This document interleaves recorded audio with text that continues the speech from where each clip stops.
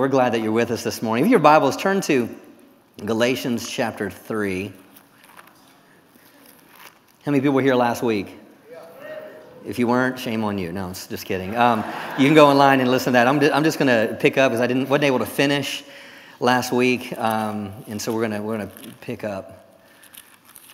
But I do want to do a little bit of review. You know, while you're turning there, just want to remind you of this scripture because we're talking about our position in Him, and this is uh, probably be our last message in the series. And uh, starting on the 21st, I'm going to be starting a series called Righteousness. It's who I am. And uh, so we're going to talk about righteousness uh, starting on the 21st. And so, uh, but this morning I want to finish up with our position in Him. Before I read Galatians, I'm going to read John chapter 1, verse 12. It says, But as many as received Him, to them gave He the power to become the sons of God, even to them that believe on His name. Notice that, but as many as received Him, He gave them the power.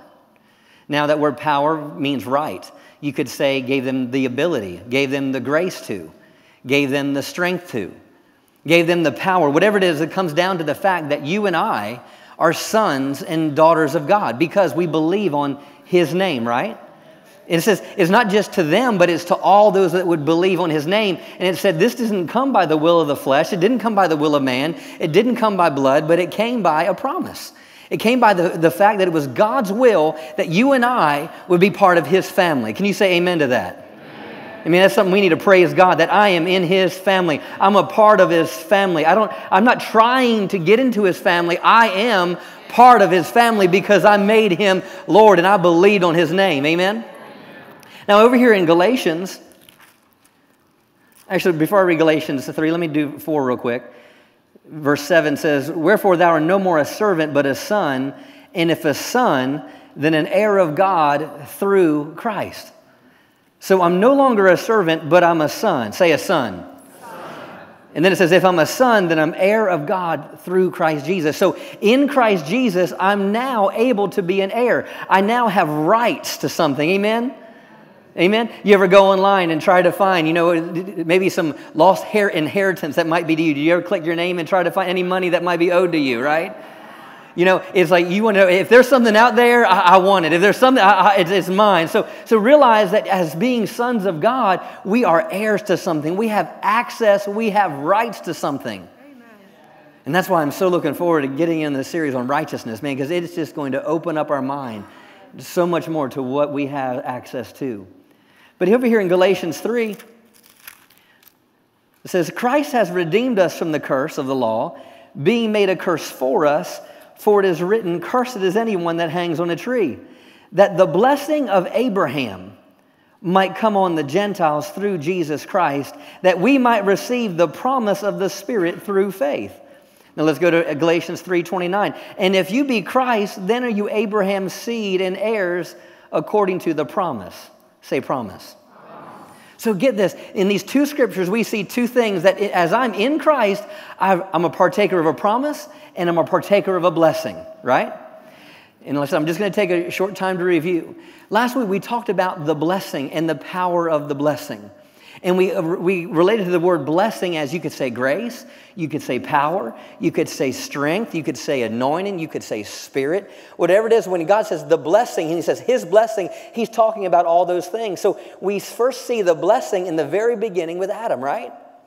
And what did He bless them? And it said He gave them dominion and authority to do what? To replenish the earth, to take authority over the earth, to expand the earth. But yet, what did we see? We just saw them in the garden, not fulfilling their purpose.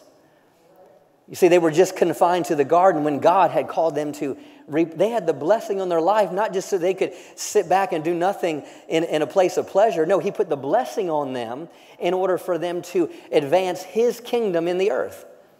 And that's what we're dealing with, continue to deal with this morning, taking ground and advancing the kingdom of God, right? And we saw this the blessing is the empowerment, the grace, the strength, and the ability to take ground, the ground that God's already established that's ours. We see that same blessing in, in Genesis chapter 13 with Abraham. And he told him after he left Canaan and he left Lot, he said, Look around, everywhere you see, everywhere you see is your ground. Everywhere you place your foot, it's your ground and it's going to be beyond what you can number. And so he went from Canaan, a place of humility, to a place of Mamre, which is a place of abundance, because he understood the blessing. So we have to understand the power of the blessing because when I'm in Christ, I'm a partaker of the blessing. The same blessing that was on Abraham, that same blessing is on you and me, and it's giving us access to take ground, to take territory, and to possess whatever God's promised is ours. Amen. Let's go to Joshua chapter 14. I don't know if I did a good enough job reviewing or not, but you can go on and I don't want to spend too much time on that. We're talking about taking territory and advancing the kingdom of God. Let me make the statement before I read this. In the Old Testament, the blessing brought increase and empowerment, and it brought them victories. How much more in the New Testament with a new covenant established upon better promises? Think about that. In the Old Testament, the blessing was on, for that. How much more in a new covenant, right? Now, here in, in Joshua chapter 14, verse 6, it says, Then the people of Judah came to Joshua of Gilgal I'm going to read and read in the King James. Verse 7 says, 40 years old was I when Moses, the servant of the Lord, sent me to Kadesh Barnea to spy out the land. And I brought him word again as it was in my heart. Nevertheless, my brethren that went with me made the heart of the people melt. But I wholly followed the Lord my God. Remember the story of Joshua and Caleb, and they sent the spies out to, to the promised land, and they came back, and 10 came with a negative report, and two came back with a positive, positive report. Who was that? Joshua and Caleb. So he's remembering. Remember that time? He goes, I went and I said what was in my heart to do, but you know what? Everyone else, they didn't understand. They came back and everyone else's hearts melted. Meaning, whatever what they said controlled everyone else. And verse, verse 8 says, Nevertheless, my brethren went up and made the heart of the people melt, but I wholly followed the Lord. That's about position. He, I was positioned in the Lord. Verse 9, and Moses swore on the day, saying, Surely the land whereon put your feet have trodden shall be thine inheritance, and thy children's forever, because thou hast wholly, wholly followed the Lord thy God. There we see it again. He wholly followed the Lord. And now, behold, the Lord has kept me alive as he said these 45 years. Now, how old was Joshua and Caleb when he first said this? Does anyone know? 40. So now we see it was 45 years ago that Moses said this. 45 years since the Lord spoke this word unto Moses while the children of Israel wandered in the wilderness, and now lo, I am this day fourscore in five years, 85 years old. Now get this, verse 11. As yet I am as strong this day as I was the day that Moses sent me. As my strength was then, even so is my strength now for war, both to go out and to come in. Now, think about this. Here, Caleb is declaring something, but what we got to understand, and it's been kind of like a theme this morning with, with Yes and Amen, the song, it promises. See, this was promises. They, these were promises that were given. You know, what Annette read, those were about promises you know, give and it will be, that, those are promises. And here, Caleb is holding on to these promises for 45 years. How long will you hold on to a promise for? How long will you hold on to the promise of God? And yet, he declared, he said, I'm just as strong now than the day that I left Egypt. See, you have to understand when they left Egypt, they left with the blessing on them. Not with a blessing, but they left with the blessing. You see, when you understand the blessing, then you understand a blessings just come with the blessing. The blessing was on them. It said there was not one feeble among a, uh, uh, not one feeble one among them. It said their eyesight wasn't abated. Everything they had strength, and, and, and the thing is, is Caleb is still walking in that same strength 45 years later, because he understood the blessing and he understood what it meant to be positioned with God. He wholly, meaning, meaning as long as I stay in this position, I stay in the blessing. As I stay in this position, I'm staying in the position where I have strength for anything, where I'm equal to anything, and I can overcome anything or any obstacle. The blessing. Let me read verse 11 again. As yet I am strong as this day as I was the day that Moses sent me. As my strength was then, even so is my strength now for war, both to go out and to come in. Now therefore give me this mountain. See, he knew what was his. He knew what he, he goes. He goes. The moment before we even went on that journey, Moses already told us what land was ours. You know what? And I've been waiting 45 years for this land, and behold, give me this mountain. But let me give you some insight. This wasn't about one mountain. If you look at other translations, this was the whole valley and the whole area of Hebron. It wasn't just one mountain, it was a whole region, about 726 square miles. And he said, Give me, give me what's mine. And, the, and if you keep reading, it goes on, it talks about, well, you know what? There's still giants there. He, and so he, he's like, God was with me then, He's with me now. In the same way I would have defeated the giants 45 years ago, I'm just as strong now for war to go out and to go in. So, so Caleb goes in and it takes the land. And listen to this it said it changed the land from Kiriath Arba to Hebron. Who was, what is Kiriath Arba? It means King Arba. Who was Arba? He was the strongest Philistine. He was the strongest of the Anakims, of the giants. He was the strongest. And so the whole land was named after one man. Caleb goes in and takes it and he calls it Hebron. What does Hebron mean? Association. What does that mean? So it used to be about one man. Now Caleb makes it about his association with God. You see, it was his association with God that caused him to go in and take territory. It was his association with God that caused him to operate and walk in the blessing. See, we are positioned in Christ. How much more? Go to 2 Corinthians chapter, chapter 1. 2 Corinthians chapter 1. Last week we talked about being in Christ, and we talked about I can do all things through Christ who strengthens me. 2 Corinthians chapter 1.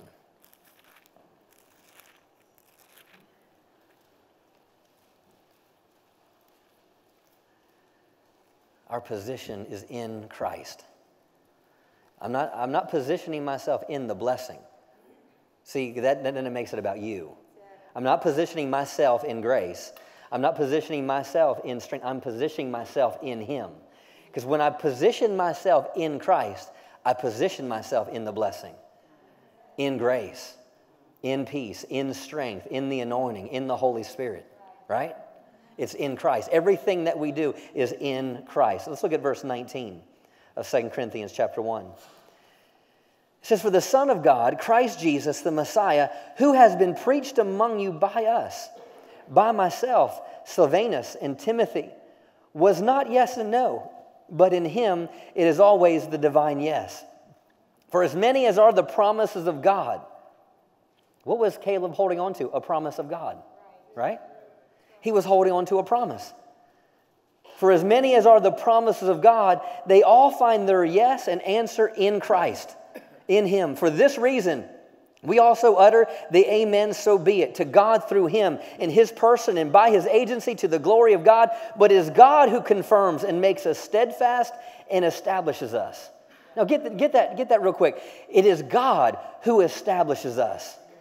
It is God who confirms and makes us steadfast and establishes us. Meaning that when we're in Christ, He makes us steady. He sets us in the right position. It is in Christ we're established in joint fellowship with you in Christ and has consecrated and anointed us. So get this when you are in Christ, you're established and you're anointed. That's what this scripture says. It says that Christ God who confirms His word. It says that He's established us and anointed us. The one that's established us and anointed us is God. Hallelujah. In doing us, amplifies it, in doing us with the gifts of the Holy Spirit. He has also appropriated and acknowledged us by his, by uh, acknowledged us as his by putting his seal upon us and giving us the Holy Spirit in our hearts as a security deposit and a guarantee of the fulfillment of his promise. But I call upon God as my sole witness. It was to avoid hurting you that I refrained from coming to Corinth.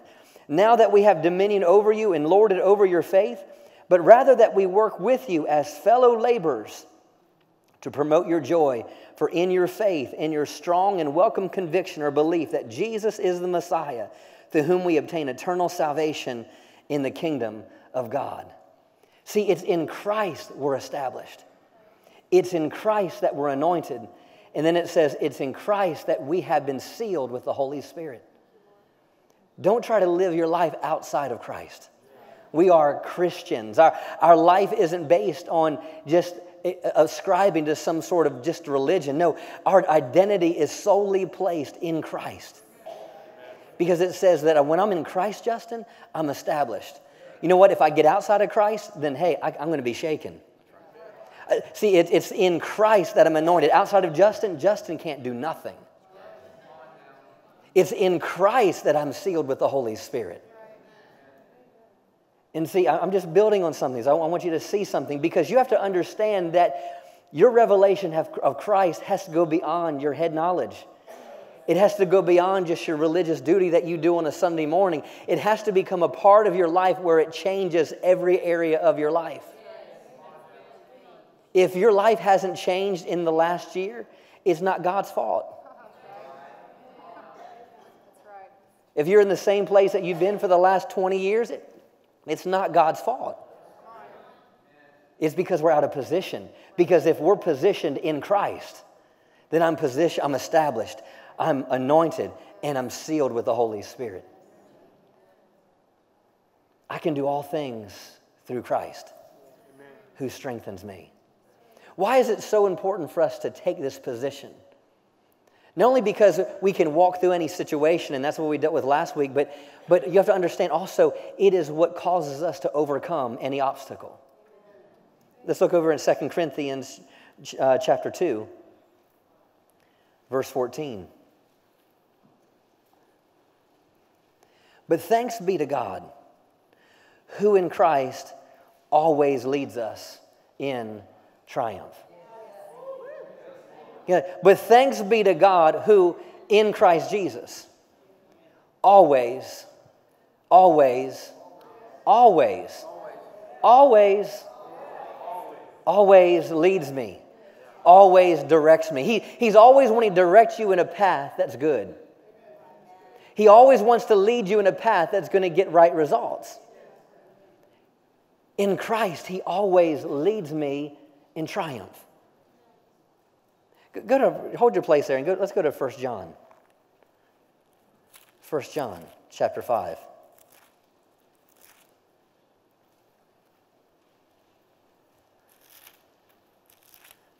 Verse 1 says, Whosoever believes that Jesus is the Christ is born of God. Do you believe that Jesus is the Christ? Yes. Then you're born of God, right? Yes. Let's look at verse 4. For whatsoever, over, for whatsoever is born of God overcometh the world. Now, do you see that? Whosoever believes that Jesus is the Christ is born of God. Then verse 4 says, For whatsoever is born of God overcomes the world. And this is the victory that overcomes the world, even our faith. Who is he that overcomes the world? But he that believes that Jesus is the Son of God. See, when I understand and believe that he's the Son of God, I've just positioned myself that I'm a Son of God. And I've just positioned myself that I live in a place, in a way that I can be victorious over anything this world throws at me. Any situation that I encounter in this world, I have the ability, I have the right, and I'm gifted and grace and blessed to overcome it. Because it's in Christ. The blessing is on me. See, when I received Jesus, the same blessing that was on Abraham came upon my life, and I'm heirs according to the promise. The same blessing that was on Caleb's life to cause him to go out and to cause him to come in, that same blessing is on my life, and it is a blessing that will cause me to win. It's a blessing that will cause me to win. You might say, well, Pastor, do you always win? I never quit. I never quit. Do you ever get bad, bad reports? Yes. Had several, I've gotten several bad reports over the years. But I don't quit. And if I don't quit, I know I win. Well, well, well, well, well what, if, what if you die? I won. Well, what if, what if, he, what if the enemy take? I win. I, Paul, Paul said it's far greater to depart. He said to, to, be absent from the body is to be present with the Lord. I, I won. So there's no quit in me, and there needs to be no quit in you when you understand the blessing is on your life. You are in Christ to win, and you win for eternity.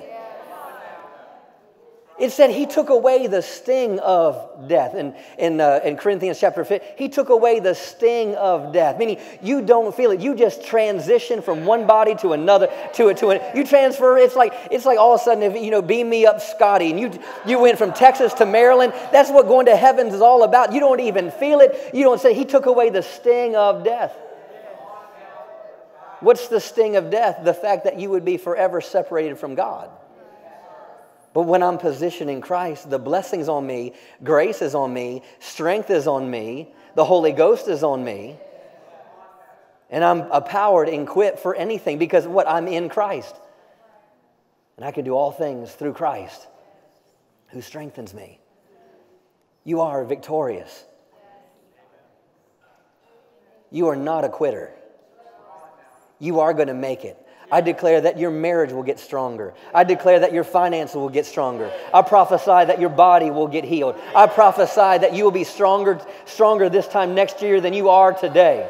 I declare that you have more revelation next year than this time today. I declare that you grow more and more in every area of your life. I declare that you operate and grow in the gifts that God's placed on the inside of you, inside the church and outside the church.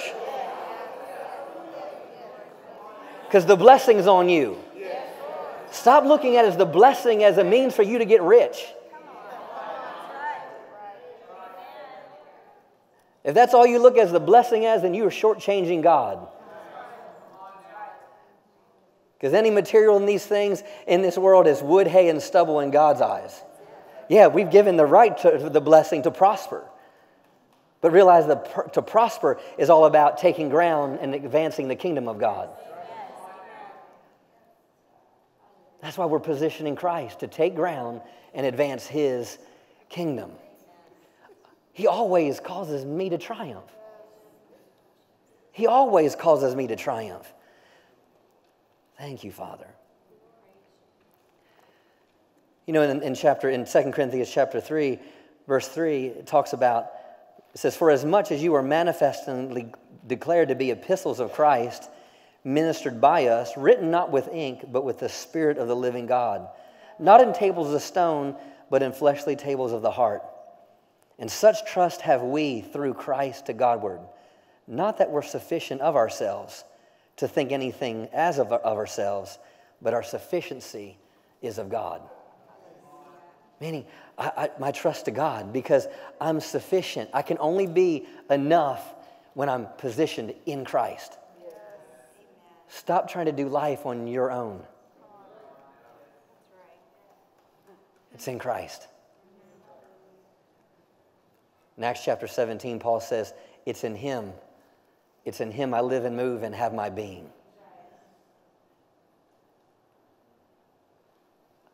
Don't do it without Christ. Don't do it without Christ. This whole, whole gospel that we preach, this whole gospel that we believe in is all about Christ. And God's plan from the very beginning with Adam and Eve was to multiply his kingdom throughout the earth. Without going back there, just want to bring this out. With Caleb, when he went into the land and changed it to Hebron, to a place where he associated with God, it said there was rest throughout the land. It was said there was no more war and there was rest. You see, when you understand the blessing is on your life, it changes your environment. The blessing that was on Caleb's life changed the atmosphere around him. And you have to understand that we're all atmosphere changers, either good or bad. It doesn't matter what field you work in, what gifting that might be on your life, you, you are called to change the atmosphere. And whatever the atmosphere is, to bring a godly awareness and bring peace into that atmosphere. And that's what Caleb did. It said there was, there was no more war and there was rest over all the land. Why? Because of the blessing that was on him. Let's look here in 2 Corinthians chapter 2, verse 14 again. So the blessing on my life caused me to walk through any situation. The blessing on my life causes me to be victorious over any situation. Now, the blessing on my life is, it causes me to influence the world around me. Now look at this 2 Corinthians chapter 2, verse 14. But thanks be to God who in Christ always leads us in triumph as trophies of Christ's victory and. Okay, so and, he, I mean, there's part two here. So the, that this Christ always leads me in triumph and through us spreads and make evident the fragrance of the knowledge of God everywhere. For we are the sweet fragrance of Christ, which hails unto God among those who are being saved and among those who are perishing. To the latter, it's an aroma from death to death, a fatal odor, the smell of doom. To the former, it's an aroma from life to life, a vital fragrance, living and fresh. And who is qualified, fit, and sufficient for these things? Who is able for such, a ministry? We? Now get this. He says, In Christ, I, He always calls me to triumph. And through us spreads and makes evidence the fragrance of God everywhere. Now, now get a picture of this. You see, when I'm in Christ and I'm positioned in Christ, everywhere I go,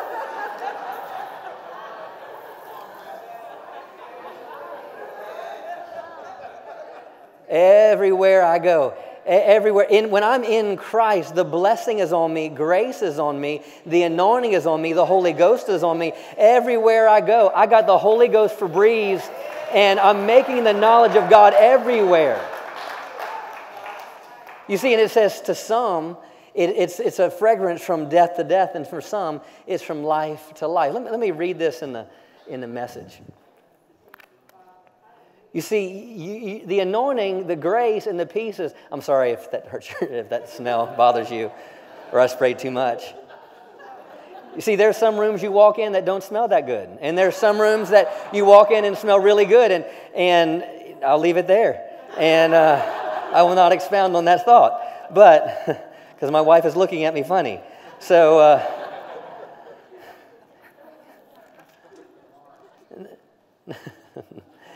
Now, now listen to this. In the Messiah, in Christ, God leads us from place to place. Now get this, in one perpetual victory parade. Through us, he brings knowledge of Christ. Everywhere we go, people breathing in the exquisite fragrance. Because of Christ, we give off a sweet scent rising to God, which is recognized by those on the way of salvation and aroma redolent with life. But those on the way to destruction treat us more like the stench from a rotten corpse. You see, we're, we're coming to a, a place in our society where, where you know who Christians are and you know who Christians aren't.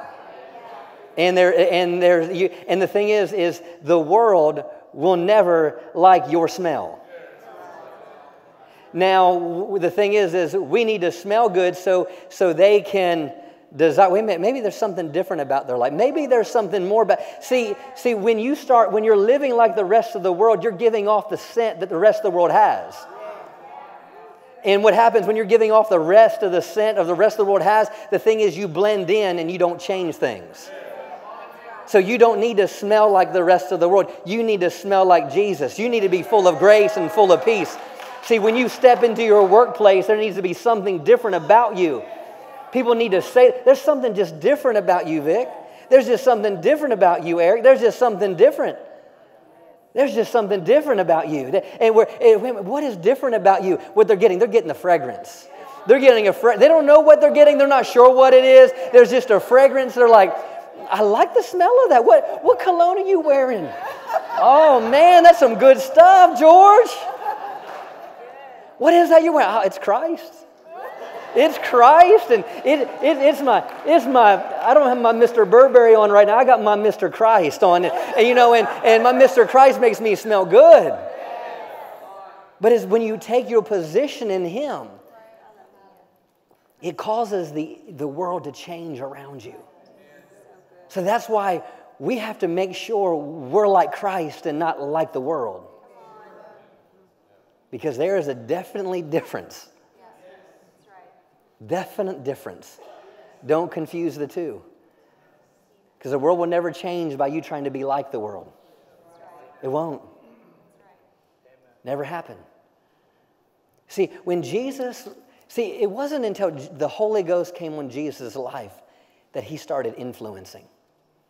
You see, when he was baptized in the Holy Spirit and it descended like a dove, and a voice came from heaven and said, This is my beloved Son in whom I'm well pleased.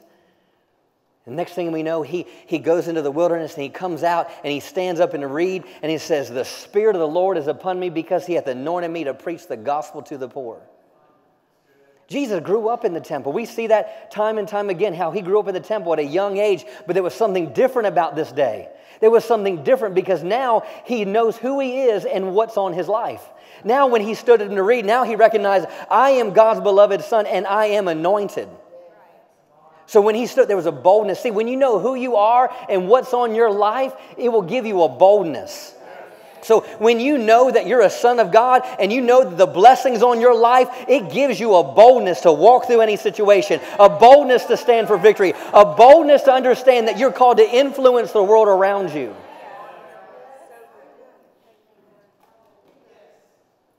And, and, and, it's not about I'm better than you. It's, with, with, the world, it's not about telling the world you're better than them. No, it's just it just makes them want to know what's different about you. What's different about you? We see this even with the, with the disciples in Acts chapter 4. After Jesus had already been crucified, and, and at the gate, beautiful, they, they had just healed a man that had been, been there for, for a majority of his life, and they come out and they have all these questions, and, and Peter's talking about this boldness that he, he preached in. And and all of a sudden, the, the, even the magistrates that are standing there, they're like, they're like, man, we don't know what to do. And, you know, we, we can't do this because then it's going to cause a uproar because we can't deny the miracle. And, and they're saying, you know what, we're not sure they're unlearned, ignorant men, but we can tell they've been with Jesus. We can tell they've been with Jesus. Can people tell that you've been with Jesus? Can people tell that you've been taking your position? So when you're in Christ, not only does it lead you to, to, to, to, have victory, but it also spreads through you the fragrance and the knowledge of God everywhere. Go to Colossians 1, and I'll close with this. Colossians 1.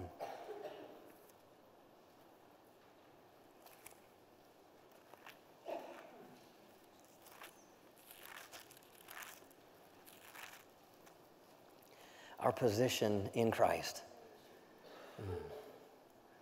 Repeat this after me. Today, Today I'm, positioned I'm positioned in Christ. In Christ. It's where I belong. Where I belong. In, Christ, in Christ, I walk through any situation. Through in, Christ, in Christ, I'm victorious, I'm victorious over, every situation. over every situation. And in Christ, in Christ I, influence the world. I influence the world. Hallelujah. Verse 24, Colossians 1, verse 24.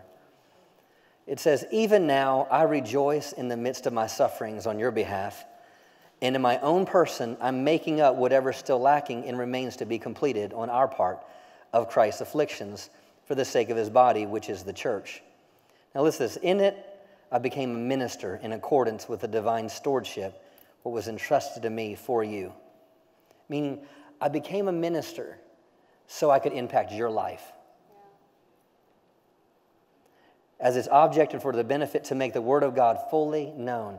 Meaning, why I'm in this? Because I want you to know what I know, and I want you to fully know God. I want you to fully know God like I know God. Verse 26 says, the mystery. Now he's going to tell us what we need to fully know. The mystery which was hidden for ages and generations, but is now revealed to his holy people, the saints. You see, this was a mystery, and people didn't understand it. People didn't understand the Jewish people. They didn't understand how, how they could live blessed in times that were cursed. How a man like Joseph could go and be the second in charge in Egypt and be over all the resources of Egypt. And people couldn't understand these things, and they didn't understand. That's why, throughout time and throughout the Old Testament, why, why, why different enemies or kings tried to wipe out the Jewish race. Because they didn't understand the mystery. And the mystery comes down to the blessing. They didn't understand the grace. They didn't understand the power. They didn't understand the ability. What's causing them to overcome? How could people the size of grass, grasshoppers overcome people that were giants? You know, how could how could someone like Elijah meet a widow woman and all of a sudden she starts filling all these pots of oil and the oil doesn't give out? They don't understand that. How could, how could because it was barred, how could the prophet make an axe head float? How, you know, how could all of a sudden God put a serpent on a pole and he said, if everyone looks at it, then everyone would be healed? They couldn't understand. These were mysteries for the ages. Hidden for the ages and generations, but is now revealed to his holy people. Verse 7 So, what is this mystery? To whom God was pleased to make known how great for the Gentiles are the riches of the glory of this mystery Wow, man, some deep words here. The riches of the glory of this mystery. Hallelujah. Which is Christ within you and among you, the hope of glory. What is the mystery? Christ in you, the hope of glory. It's Christ in you. That's the hope of glory. Christ in you is the hope in your family. Christ in you is the hope for your neighborhood. Christ in you is the hope of your church. Christ in you is the hope of your workplace. Christ in you, the hope of glory. Christ in you. It's the Christ in me that gives me an expectation that people will see glory in my life.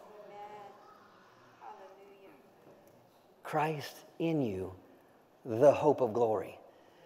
Now, you got to get this before I, before I close. This isn't a feeling. This isn't a goosebump. This isn't falling down on the ground. This isn't some Pentecostal experience, so to speak. Yes, it can produce those things, and those things can be byproducts, but you have to understand that anything and everything God does has a purpose. So I have to ask the question, because that's the way I, think. And when I come to teach, I see scriptures, I'm like, okay, well, why is, why is Christ in me the hope of glory? Is it just so I can, I got fragrance of Christ going everywhere. Praise the Lord. No, there's a purpose. And then it tells us what this purpose is.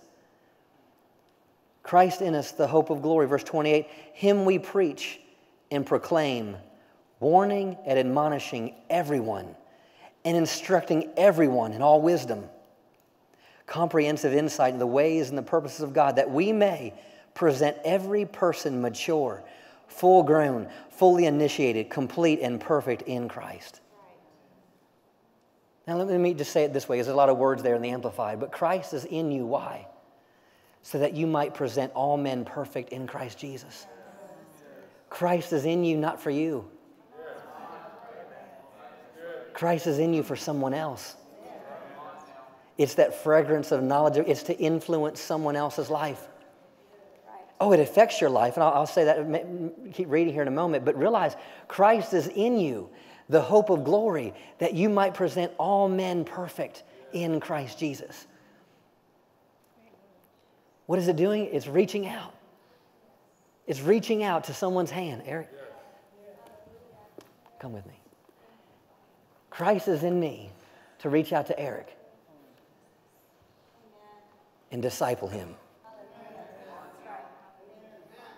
Be a voice in his life for us to lift up one another's hands, to talk about what does it mean to surrender to the Lord. What does it mean to, to, to be what God's called us to be? How are, we gonna, how are we going to do what God's placed in our heart, Eric? It's because the anointing in me and the anointing you perfecting each of us. And that's what, that's what Jesus meant when he said and commanded the disciples, go into all the world and preach the gospel. Because he didn't say just preach the gospel, he said make disciples. See, the anointing on you is yes, to preach the gospel to every creature, every nation whether it's one on one, whether it's in a mall, whether it's in a store, whether it's at a car wash, whether it's in a group setting, whether it's to masses in Africa, whatever it is, it's taking the hope that's on the inside of you to bring more completeness to the life that's on the inside of them. So when we're positioned in Christ, we can make it through any situation. We be victorious over any situation, and you will influence the world. Thank you, Eric. Hallelujah. To whom we preach, him we preach, warning every man and teaching every man in all wisdom, that we may present every man perfect in Christ Jesus. Verse 29, the King James says, Whereunto I also labor, striving according to his working, which worketh in me mightily. Now get that. It worketh in me, meaning worketh means it's always happening. So the Christ in me the Christ in me is in me to present all men perfect in Christ Jesus, but also it's to work mightily in me. Meaning, yeah, it, it, it, it strengthens me, it increases me, it gives me revelation, it increases my life, it gives me direction, it gives me wisdom. Christ is in you. It's the hope of glory. Let's take our position. Let's take our position because God has called us to take ground and advance his kingdom. And the only way it will happen is if we position ourselves in Christ. Father, we thank you for your word today. And we thank you for the challenge that it brings the challenge that this word is birthing on the inside of us, Father, that we would not j- just be complacent. We would not just hear these words and, and leave this building unchanged, Father, but we would hear these words and not one word that we heard would fall to the ground, but it would produce in our life. It would give us a passion. It would give us a pursuit. It would give us a desire to go deeper in you. It would give us a desire to understand the reality of my life being in Christ. And anything other than that, I will shortchange my destiny. I will shortchange my future because it's in you that I'm sufficient. It's in you that I'll fulfill all my days. Hmm. Thank you, Father. Thank you, Father. Hallelujah. Hmm. Everyone stand to your feet.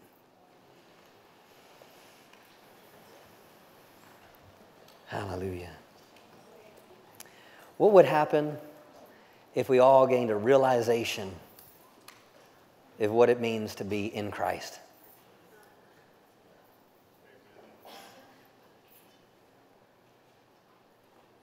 As a, as a pastor, Net and I uh, can really. Uh,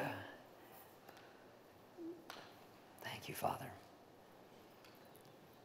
Could really just place within you a hunger for God and your relationship with Him and, and see that your relationship with Him in the church that He's planted in you is so much more than just doing some sort of duty.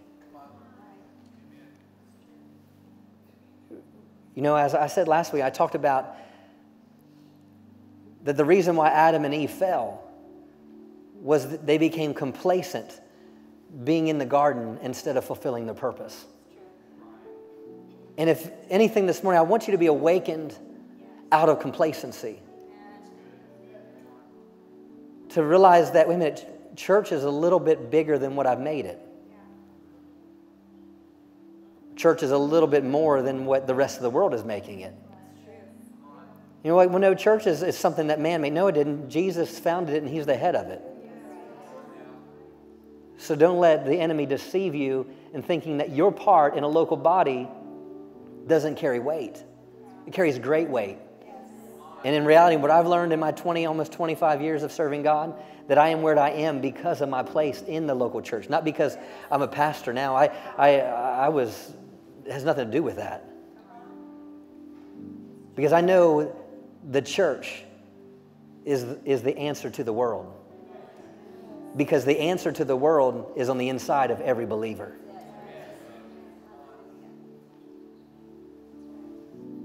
Christ is in you. Christ is in you, the hope of glory. Man, and Father, expand our thinking to just be able to comprehend that. Because when our, our thinking expands to what that means, man, it opens up impossibilities of what you desire to do through us. And we'd no longer see ourselves as, well, I'm just this, or I'm just one man, I'm just one lady, I'm just one. No. 12 men turned the world upside down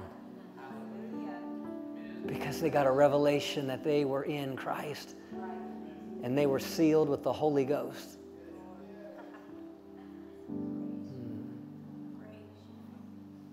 Oh, Father, we receive you and we receive the Holy Ghost to equip us, strengthen us, and empower us for every step of our journey. Thank you, Father. Thank you, Jesus. You're faithful. You're faithful. Hmm. Ah, Jesus is coming soon. Know, I just for me, I, I mean, just lift your hands with me. If you if you if you have just a hunger to be used by God in greater ways.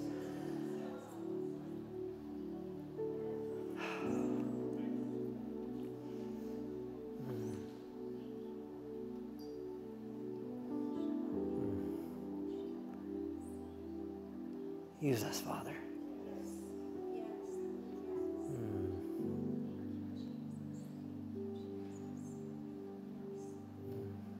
That's really your heart's desire. If it's not your heart's desire, don't say it.